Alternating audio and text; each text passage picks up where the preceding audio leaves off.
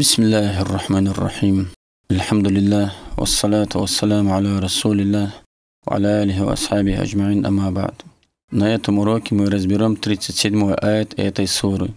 رب السماوات والأرض وما بينهما الرحمن لا يملكون منه خطابا Господь небес и земли и того, что между ними, милостивого, не будут они владеть от Него возможностью речи.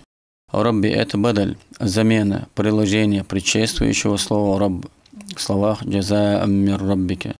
А как известно, бадаль должен соответствовать своему мубдальмину, то есть предыдущему имени, которое данное имя заменяет.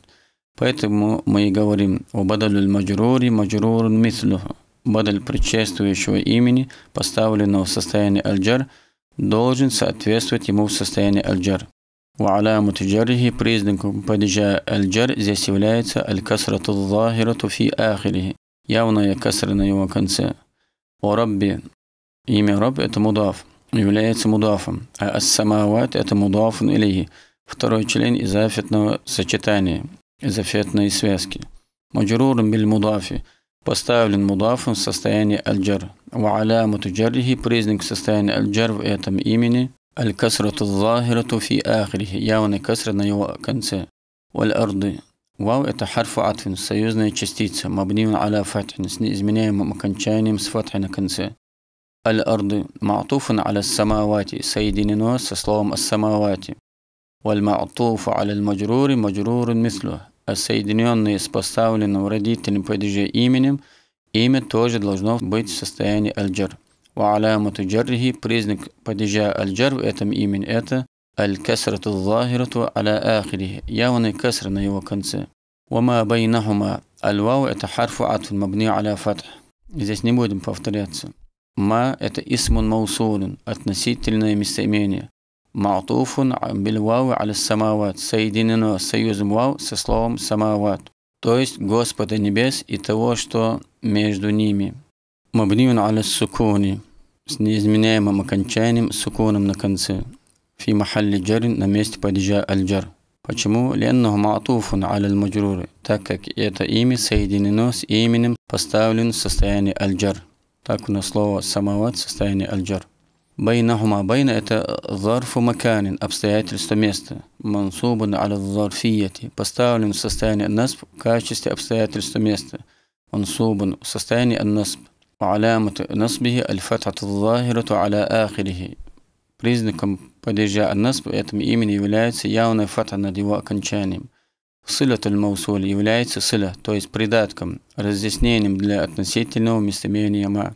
Ну а если точнее, то байна состоит в смысловой связке с удаленным глаголом, который является частью придаточного предложения, то есть является сила для ма, то есть мастакарра байнахума, то, что установилось между ними, имеется между ними.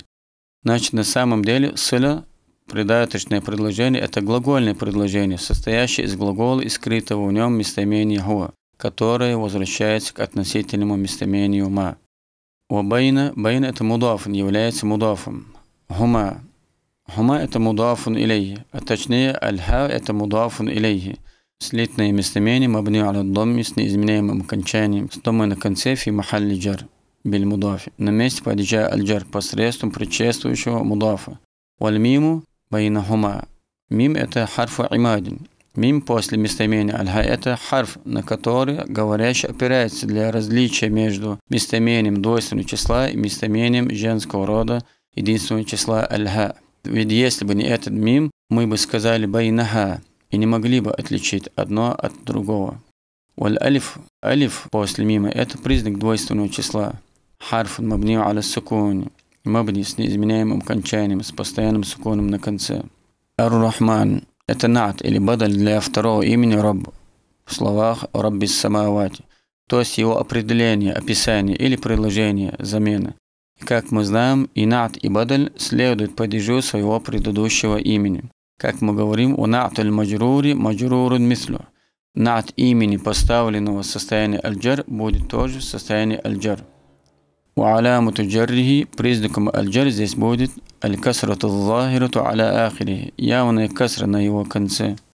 А если согласно другому кираату мы прочитаем Раббус самавати валь арды ума байнухам рахману с домой, то в этом случае слово «раб» будет являться хабаром ли муптадайн махзуфин.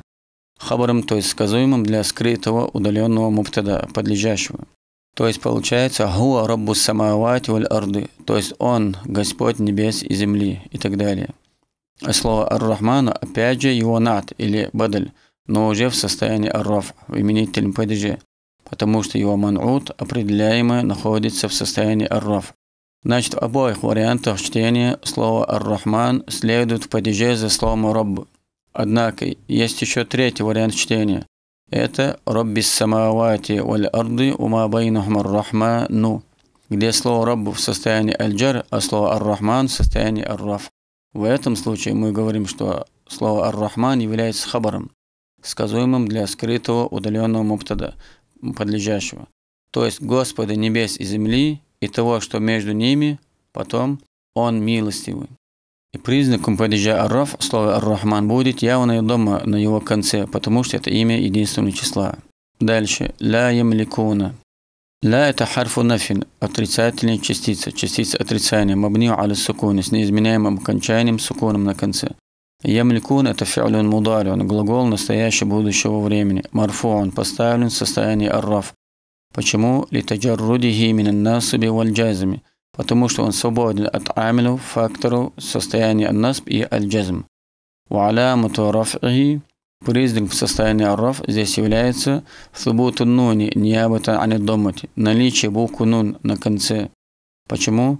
В качестве замены э, доме. Почему? Потому что мин аль хамсати. Потому что этот глагол относится к тем пяти формам глагола, или моделям, у которых признаком раф является наличие буквы нун. Вальвау авау это домир муттасиль, слитное местоимение, мабнию аля сукуни, с неизменяемым окончанием, сукуном на конце. Фи махалли раф ин фа'аль. На месте падежа раф фа'аль, действующее лицо. Минху. Мин это харфу джарин, предлог родительного падежа. Мабнию аля сукуни, с неизменяемым окончанием, сукуном на конце. Аль-хау – это домир муттасиль, слитное местоимение, мабнию аля домми, с неизменяемым окончанием, с домой на конце. Фи махалли джаррин бихарфи джарри, на месте падежа аль-джар посредством предлога родительного падежа мин. Валь-джар валь-маджруру, джар и маджрур, мутаалликани, состоят в смысловой связке с глаголом ямликуна. Хитабан. Хитабан – это маф'улен бихи ямликуна, прямое дополнение глагола ямликуна. Мансубан бильфяль поставлен глаголом в состоянии насб. Ва алямат насбихи признаком состояния или же падежа насб этому имени является аль-фатхату захирату фи явная фатха на его окончании, на его конце. Завершая, араб осталось сказать, что аль-фи'лю ямликуна ма'a фа'али, что глагол ямликуна со своим фа'алем и так далее, все это джумлатун фи'алиятун, глагольное предложение. Может быть истинафия, то есть возобновляемым новым предложением, в этом случае мы скажем «ля махалля ляха мин ираб не имеет места в падеже. Хотя есть и другие варианты. Так, если мы прочитаем Ар-Рахману с дома на конце, то мы можем сказать, что Ар-Рахман – это муптада, подлежащее именного предложения. Глагольное предложение «ля ямликуна минху хитаба» – все это будет фи махалли рафин, на месте падежа ар-раф. Хабаруль муптадай – сказуемое подлежащего так как здесь предложение выступает на месте одного имени, то есть его можно заменить одним именем, одним словом. Аллаху А'лам.